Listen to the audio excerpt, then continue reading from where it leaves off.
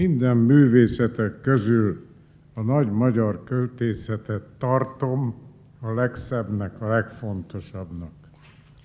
Ha tudok egy verset kívülről, fejből, nem tudom elmondani, mert meghatódom a szavak, a gondolatok szépségétől.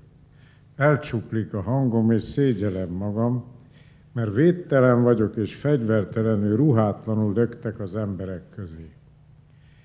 Ez a mércém, és ebből tudom, hogy nagy magyar költő versét olvasom. Az utókornak mindig igaza van, mert rajta kívül nincs más. Akiket nagy magyar költőket az utókor megszavazott, azokon is érzem ezt a meghatódottságot, az ő versüket se tudom elmondani, tehát valószínűleg a mércém jó. Kányádi Sándorral barátok vagyunk. Sokat vagyunk együtt, de ha verseit olvasom, nem tudom elhinni. Van úgy, hogy nem adok neki igazat, de ha verseit olvasom, mindig igaza van.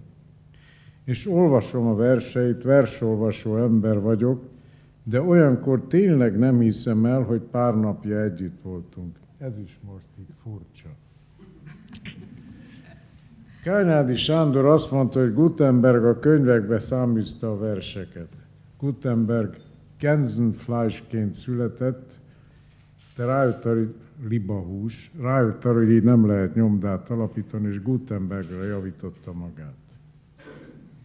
Tehát könyvekbe száműzte a verseket. Nem, nekem hála Istennek, mert tőlem függ, hogy olvasom-e aznap vagy sem. A könyvekkel való életemen eddig kétszer volt rés, amikor Latinovicsot vagy Őze Lajost hallgattam. Azóta én sem vagyok funkcionális analfabéta. Ha olvasom, hallok, hallom őket. Hallottam Kánynádi Sándort is versét mondani, ő is javított rajtam.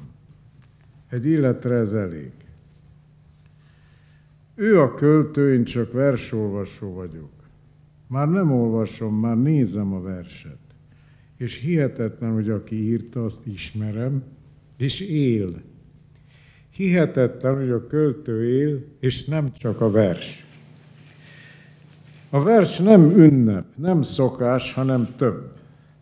Valami másra emlékezik, hanem mindig jelen idő, önmagát idézi fel és fejezi be. Amit a teológusok mondanak az Istenről, mindig jelen idő.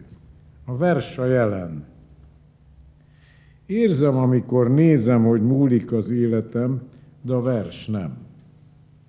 Amikor idézek magamban egy-egy sort, az nagyobb nálam, helyettem mondta szebben.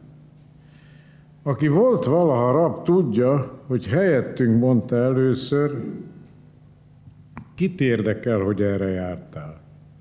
Hogy néha azt hihettük, hogy szabadok vagyunk, és járhattunk arra. Megtisztel, hogy megszólít, hogy kiszól a versből. Higgyék el, hogy ismerem Kányádi Sándort, ha én magam nehezen hiszem is el. Nem is hiszem, ha olvasom, csak tudom. A vers szebb, mint a szobrászat, mert a szobrászatban túl sok a műhely. A jó szobrot létrehozó első gondolat talán vers, mert a vers beszél. Szeretem nézni a csillagos eget. Nagynak és szépnek látom, de sohasem fogom megismerni. Tévedés és hiba volna azt állítani, hogy barátok vagyunk. Ki sem igazodom rajta. Amit mondok, az nem kötött formában mondom, és nincs önkéntelenül sem megkomponálva. Nem vers, csak gondolatok. Nem vers, mert nem szép.